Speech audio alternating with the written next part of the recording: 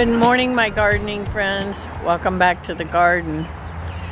What's better than a morning walk through the garden with a hot cup of peach tea? Not much that I can think of, anyway. Welcome to my garden. I've been promising a gardening tour, and today we're gonna have that. So let's get started. All right, first let's visit some tomatoes that I planted this week. They're doing really well. Um, they've grown a lot just since I mulched them. These are my uh, Thornburg's terracotta tomatoes, and this is my first year to grow these. I'm really excited for them. So you can see they've taken off. I can tell that their roots are set. So I'm planting zinnias in this bed as well and some calendula, which my calendula has been munched on by critters. So you can see here's one, but uh, he's been eaten on, and I have some more growing. One of the things that's really given me problems this year is the roly-polies. So, but we'll we'll deal with them. Sorry, I got my camera strap in front of that.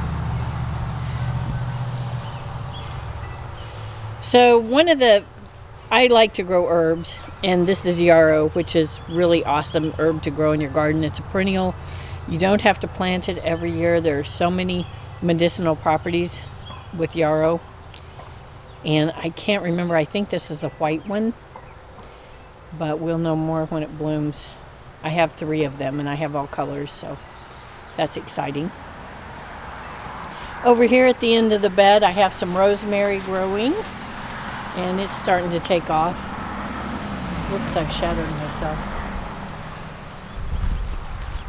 Over here at the end of the bed, I have some rosemary. It's starting to take off. This is the amazing tangerine skies rose that I showed you in some photos. I just love this. It's supposed to be a climber. It doesn't look like it's climbing yet, but I sure think it's beautiful. This huge plant that I have growing on this cattle panel arch, which I'll do a video just on those. Um, but this is a fall blooming clematis, which I didn't even know there was one. I was shopping in a plant nursery and I come across that. And it's a perennial. It's really taken over. But I wanted something that would come up and start making my arch green before all my other stuff was ready in the springtime. So that definitely suited the bill.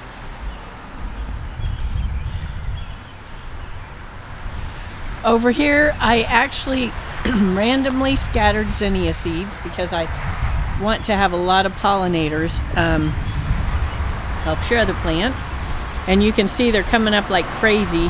I'm going to have to get in there and weed them uh, and thin them out because they're really too thick. So one of the things that I wished I'd have done was put them in rows, which I may still thin them out to rows so that I can have put down straw and have a place to walk to weed in between them, but they are doing well. Zinnias are a wonderful choice if you don't want something that takes a lot of care, and they're pretty drought, drought tolerant. This week I've planted, uh, in this, I planted okra, and I don't see any of it coming up as of yet, but it should be coming. It's been raining every day, or I've watered it, so it should do pretty well. I've had volunteer borage this year all over the place. I've had to pull some up, but uh, I've got it all over still. It's actually wonderful. And you can see it's volunteered over there. I don't know. I won't leave all of those, but for now I have. I have not finished planting this bed, um, but I do have a pepper down here that's doing well.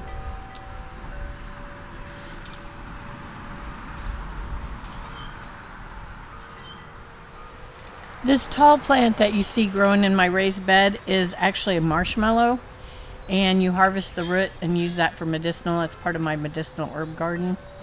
Uh, this is about its third year and it's doing really well. Hello potatoes. They're growing really pretty.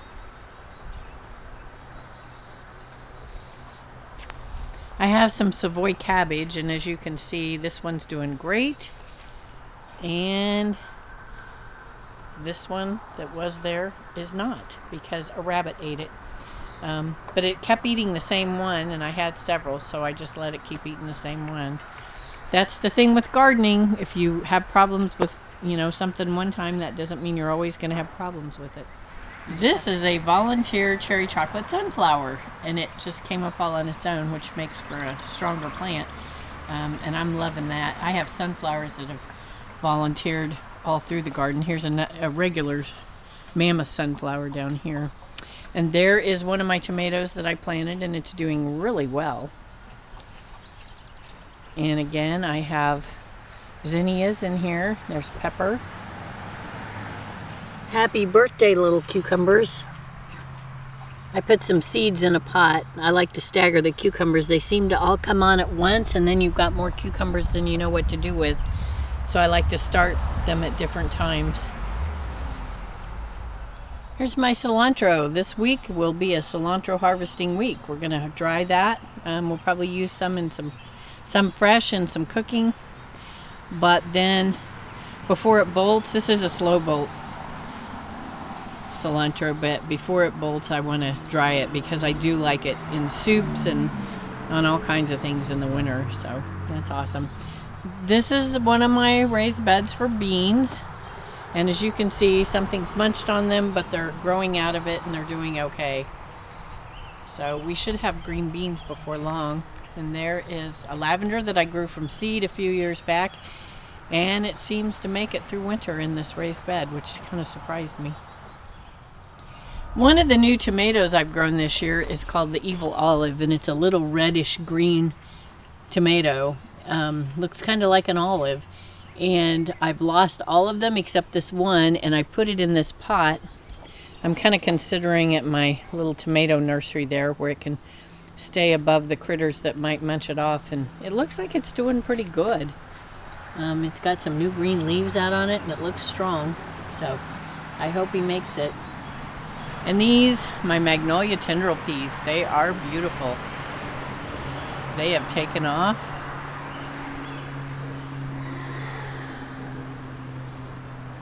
and I have those on two fences.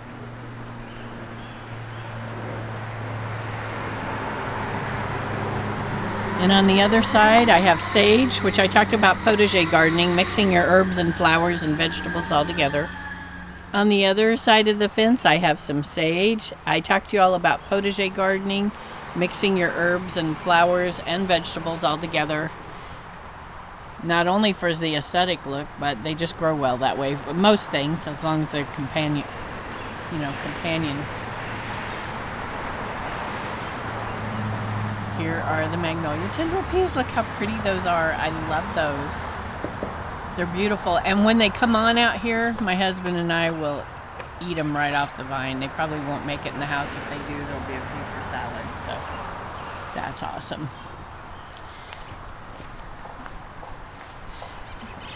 This Swiss chard made it all through winter and has come back and that one plant has provided us with so much salad this year. I use that and then uh, I add the other greens to it. Here's another yarrow, which is huge. I love this yarrow. It looks like it's getting ready to bloom. And across the way from it is another yarrow, which this one is definitely white, so the other one may be going to bloom yellow. This one has gotten so big, I need to divide it up and share it. Okay, I have some brassicas in here. We're actually going to put some sweet potatoes in here as well. This is a large stock tank that um, I have two of those that my husband got uh, a couple years ago and painted them a terracotta color and I think they turned out really pretty and it's a great way to have a raised bed. This one's big and this one is smaller up here but up here I have beans in that one and they're doing really well. So over here we have our arugula that has gone to seed and we let it go to seed and we harvest it so that we can replant it. Um, we can replant it in the fall and have salads then and we can have enough. We actually still have some from last year that puts on so many seeds.